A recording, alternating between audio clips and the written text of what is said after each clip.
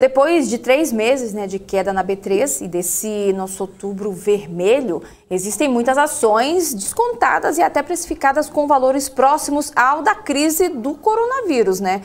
Quais são as oportunidades que você identifica como mais promissoras para esse momento? Seriam as small caps, as blue chips, ou uma carteira de valorização, ou ativos focados em dividendos? O que, que pode pesar na hora de olhar para tantos ativos baratos?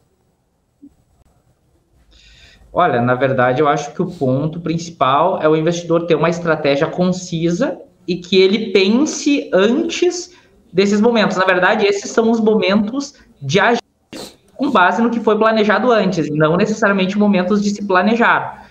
Agora, se tu me perguntar onde a gente vê possibilidades, eu acho que a gente tem grande, boas empresas blue chips que estão negociando a patamares de preço extremamente baratos, porém não vamos esquecer que existe um motivo para isso. Pegar, por exemplo, o próprio Banco do Brasil que eu já citei.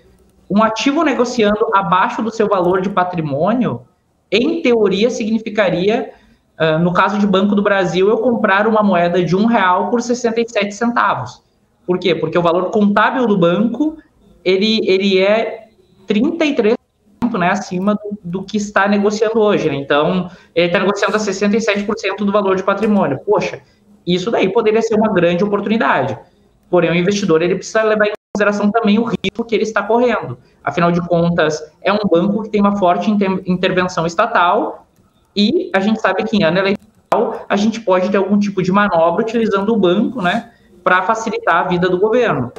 No mesmo caso, a gente tem as ações da Petrobras, que antes dessa queda já estavam negociando perto de uma vez o valor patrimonial.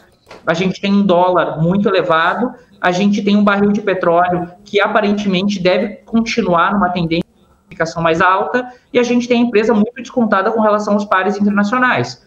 O porém é o mesmo, risco político envolvido.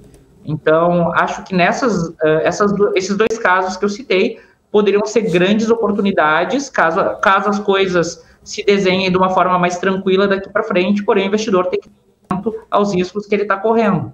Outras também poderiam ser casos de empresas dolarizadas, que a gente tem, por exemplo, proteína animal, caso da JBS, ativo dolarizado, sem substituto óbvio, demanda crescente em especial na Ásia, isso olhando para médio e longo prazo.